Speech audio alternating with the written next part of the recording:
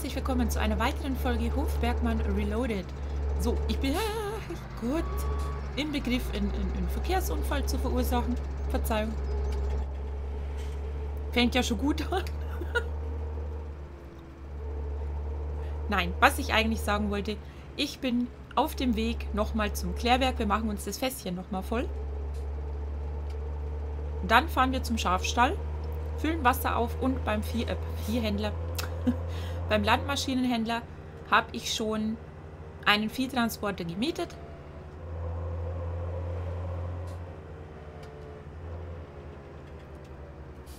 Das heißt, wir tauschen dann einfach Fass gegen Viehtransporter. Und auf dem Rückweg zum Hof müssen wir da sowieso wieder vorbei. Das heißt, das Fass nehmen wir dann zurück zum Hof. Aber so weit sind wir noch nicht.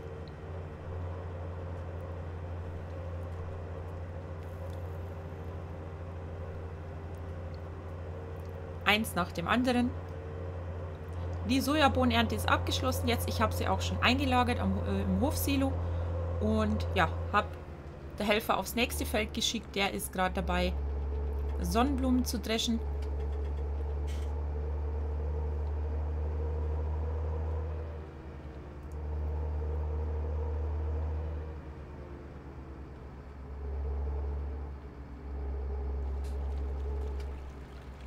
Ich würde ja fürs Wasser bezahlen, gell? Aber ich kann ja auch nichts dafür, wenn das Rathaus solche Öffnungszeiten hat.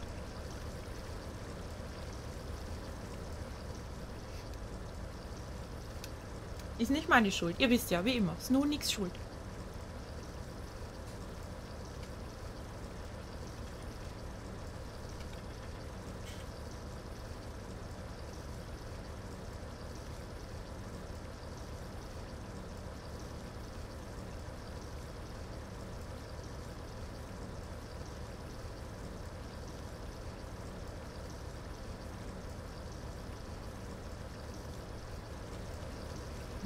So, Dele. Fass ist voll. Auf zum Schafstall. Ich habe mir jetzt hier auch wieder diesen Mod drauf gemacht. Ähm, Lower Animal Prices, also niedrigere Tierpreise. Ich finde einfach, also 3000 Euro für ein Schaf finde ich maßlos übertrieben. Mein Geld verbrenne irgendwo gut und schön, aber das, äh,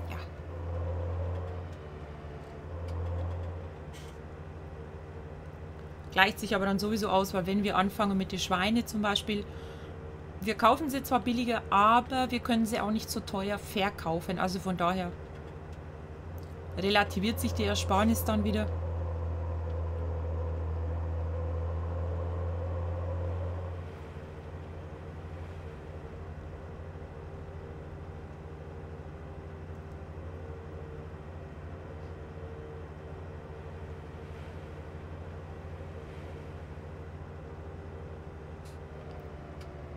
Ui.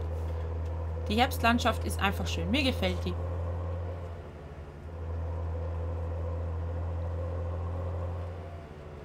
Jetzt dann die nächsten drei Tage regnet, so wie angesagt, wird es mir wahrscheinlich nicht mehr ganz so gut gefallen, aber noch ist es sonnig und trocken.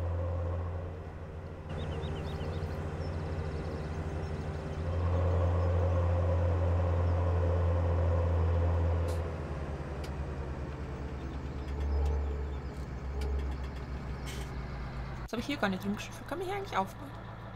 Also da drin. Oh, schön. Da können wir ähm, für die Schafe... Das ist gut. Da können wir für die Schafe Heu einlagern. Sehr schön.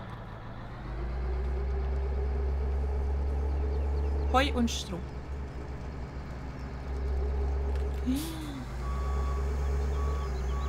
Das war nicht gut. Mach mal anders.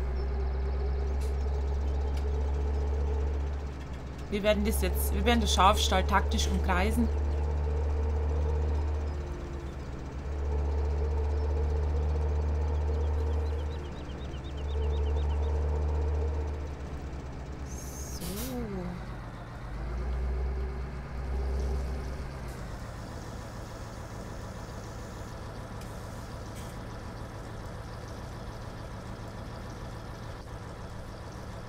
reingucken, ob auch alles passt. Sehr hübsch. Schönes, frisches Strohbettchen. Ja, alles voll. Das ist gut. Was fehlt sind Schafe. Ich denke mal, wir werden uns jetzt auch nicht gleich äh, da vollknallen mit 200 Stück, weil ich schätze, die fressen uns dann die Haare vom Kopf.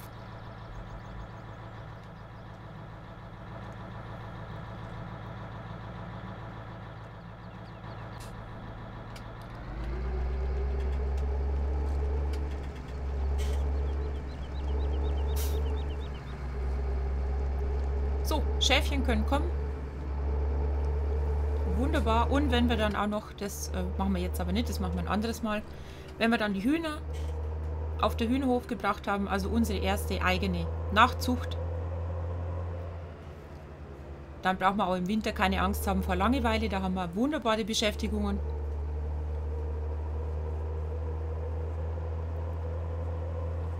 Da müssen wir ja zum einen die Tiere nicht nur versorgen, sondern uns natürlich auch um die Produktion dann kümmern.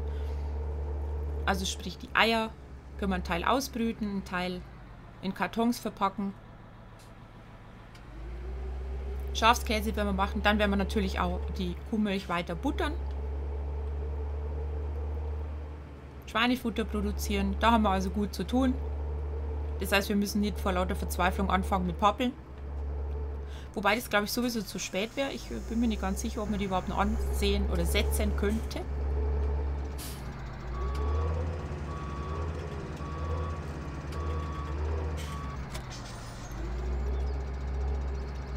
So, jetzt muss ich gucken, dass ich den Dolly da drunter gefummelt kriege.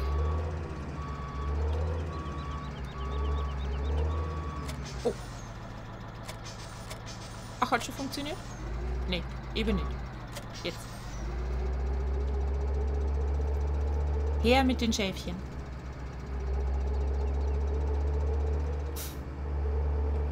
Ja, äh, mach doch langsam. Du siehst doch, wie lang das der... Also wirklich.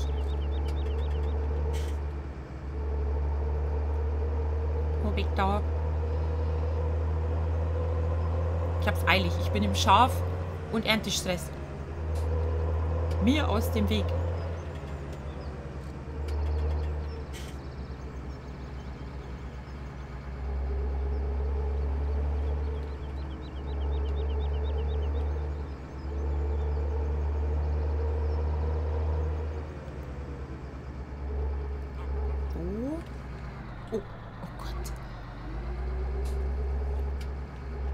beim Viehhändler schon wieder ein Stück Mauer ruiniert.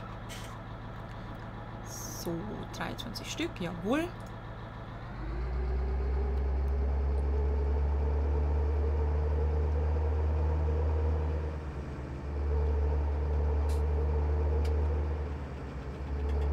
Ich finde jetzt 500 Euro für ein erwachsener Schaf auch immer noch ein bisschen happig. Aber auf jeden Fall besser als 3000 Euro. Also.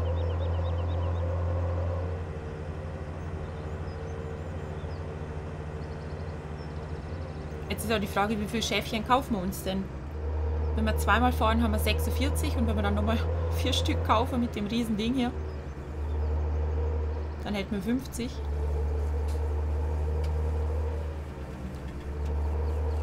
Ich glaube 50 ist für den Anfang ganz okay, oder?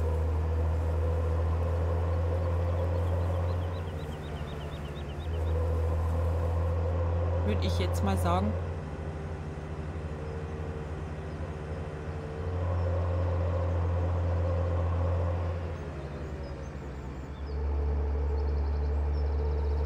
Helfe Tobi hat einen vollen Kontakt. Tobi, wart ganz kurz, ich komme sofort.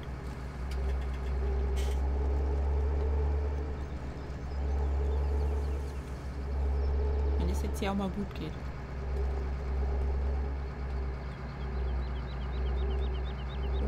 Schön gerade ziehen. Abladen. Ja. Hallo Schäfchen.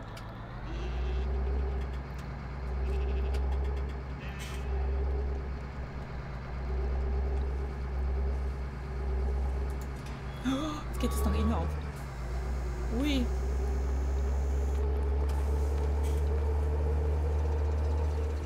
Ja, macht euch schon mal gemütlich da drin. Willkommen bei der Snuschen Schafskäseproduktion.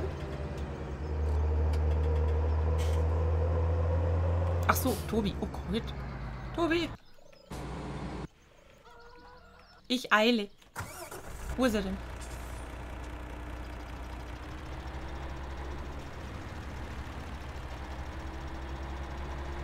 Jesus, wo steht der denn rum? Ach da. Ja, ich komme ja schon.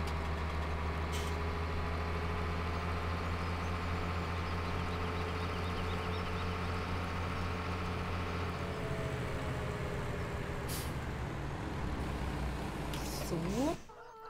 Bitte sehr, bitte gleich. Ich denke mal, wir werden einen Teil von dem Geld ähm, in ein, zwei neue Felder investieren. Für die ganz Großen reicht es leider nicht.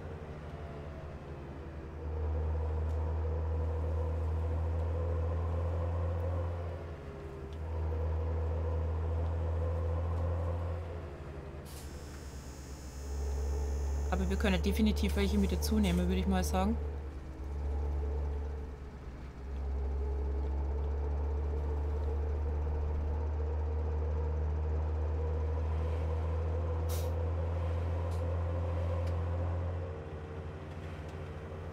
Hat es da unten noch eine Wiese, die könnten wir uns auch noch kaufen. Vielleicht eine Wiese und ein Feld. Also eine Wiese und ein Acker.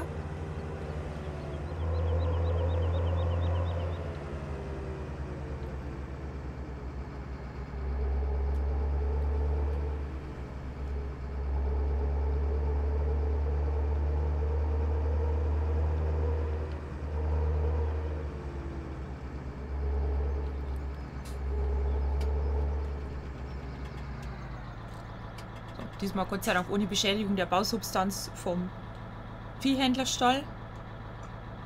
So, Nummer 23. Bestätigen, jawohl.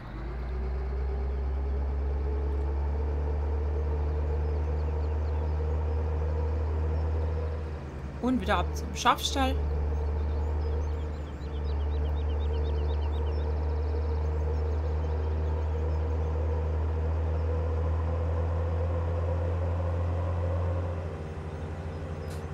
Aus der Bahn. Das wird so ein blaues Auto. Blaue Autos in Fuchshausen, ich kann es euch sagen, ganz gefährlich.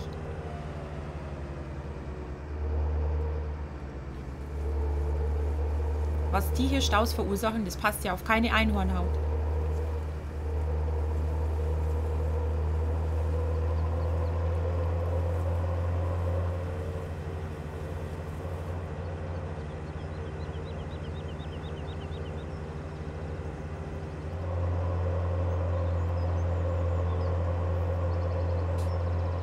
Müllsäcke schon wieder überall. Hei, hei, hei.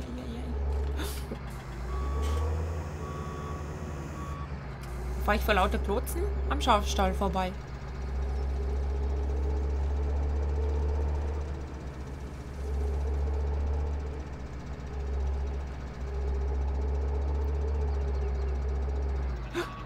Oh nein. Das war zu knapp. Ich hänge.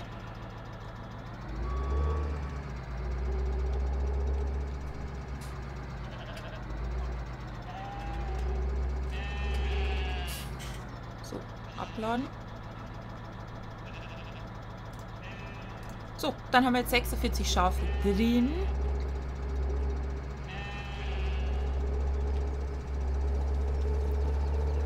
Und ich hole jetzt auf jeden Fall noch die restlichen vier. Ja, das mache ich.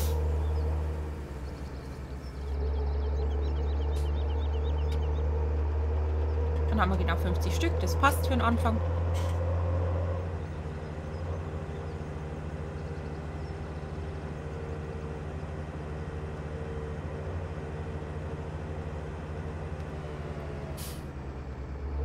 Wieso fahre ich eigentlich so umständlich über den...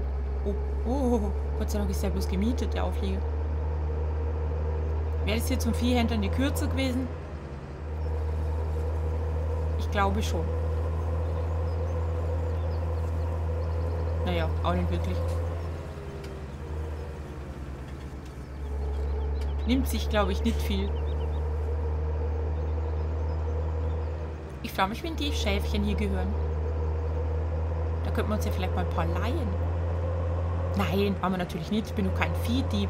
So weit kommt es noch. Wir sind ja hinter dem wilden Westen.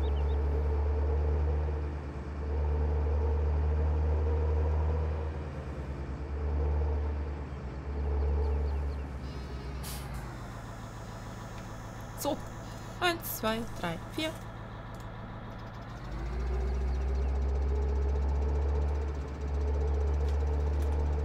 Ach Gottchen. Die haben sich ja putzig verteilt. Zwei vorn, zwei hinten.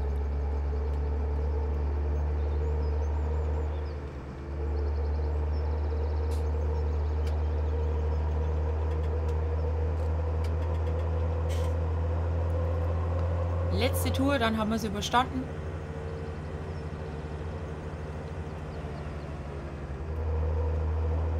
Und mit wir meine ich uns alle, also die Schafe, ihr und ich.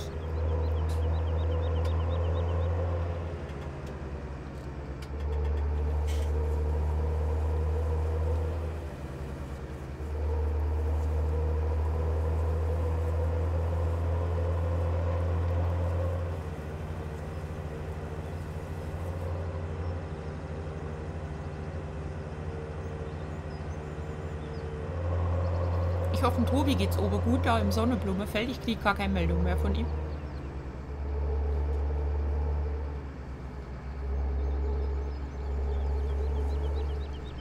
So.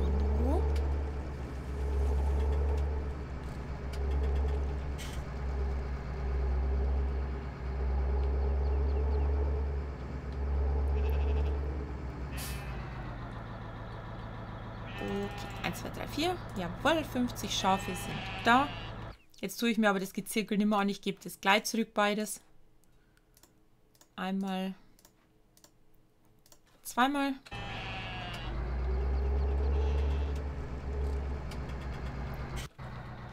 So, da machen wir zu.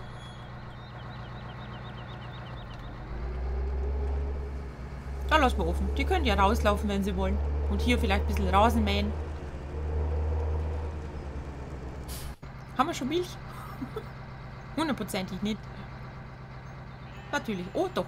Oh, wir haben schon 12 Liter Milch. So ist fein. So ist brav. Sehr schön. So mag ich das. Ja, ja, ja. Gut. Schäfchen sind da. Die sollen sich jetzt erstmal akklimatisieren. Versorgt sind sie. Und ich würde sagen, für diese Folge komme ich zum Ende. Ich bedanke mich fürs Zuschauen, hoffe es hat Spaß gemacht und freue mich natürlich, wenn ihr beim nächsten Mal wieder mit dabei seid. Bis dahin wie immer eine gute Zeit und ich sage Tschüss.